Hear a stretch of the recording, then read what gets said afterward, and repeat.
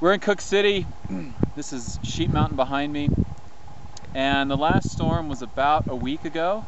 And not long after the storm, there were probably three or four, or maybe more avalanches. Uh, a few human snowmobile triggered, and maybe a few natural.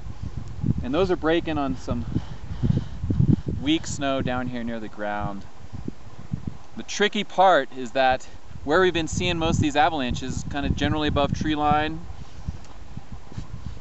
in some of this terrain, the snowpack is really deep and, and somewhat strong. In other places, it's really shallow.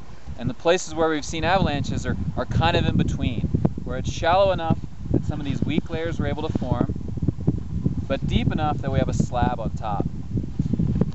Now, it's getting a little bit harder probably to trigger an avalanche, and I think your odds of, of hitting rocks and damaging your sled are higher, much higher than triggering an avalanche.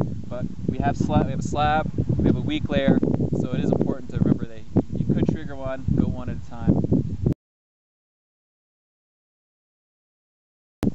Looking, looking ahead, when we get another storm and it starts snowing again, if we get a big enough load, it could reactivate this layer and we'll get avalanches breaking fairly deep in the snowpack. We're also watching the surface because these warm sunny days and clear cold nights are, are weakening the snow surface. And we're getting little surface hoar crystals and little near surface facets right on top and, and that'll fracture too if we get a slab of new snow on top of